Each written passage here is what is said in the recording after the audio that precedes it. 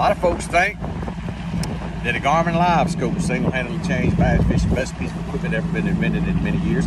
Couldn't couldn't disagree. Couldn't disagree. Very fine, fine piece of equipment. Got one myself. $37.99 full retail. But let me tell you what else has changed the fishing industry. Heated seats in the Phoenix 921 Elite 2. Come on. Heat up that lower unit some when it's freezing cold and raining. Seat heaters. Never thought you'd see it. Don't forget that heated steering wheel for all you lovely people who like to stay warm.